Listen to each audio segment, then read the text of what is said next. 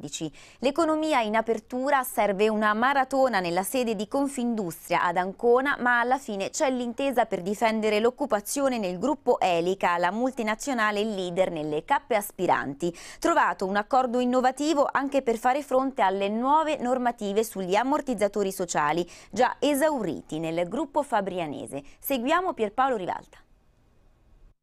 Ancora otto ore di trattativa, ma l'accordo c'è. Negli stabilimenti Elica i temuti 165 esuberi si riducono a 30. Terminati gli ammortizzatori sociali, anche a causa delle nuove leggi entrate in vigore, le parti trovano comunque il compromesso per difendere l'occupazione. Questo è stato un obiettivo sempre presente in noi che ci ha portato di fatto a fare un accordo sicuramente difensivo, ma indubbiamente importante per quanto riguarda l'occupazione e anche il mantenimento parziale del salario dei lavoratori. In un paese eh, dove la crisi ancora non è terminata, eh, noi riusciamo a garantire ancora i posti di lavoro e questo non è poco, sapendo anche che la popolazione dell'Elica è una popolazione estremamente giovane, quindi hanno bisogno di un posto stabile.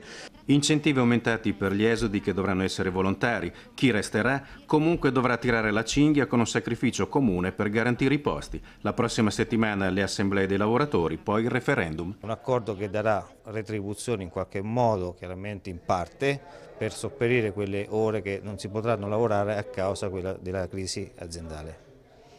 Quindi diciamo chi rimane dovrà sopportare una riduzione di orario, questa è la soluzione? Assolutamente sì, purtroppo il fulcro dell'accordo è questo.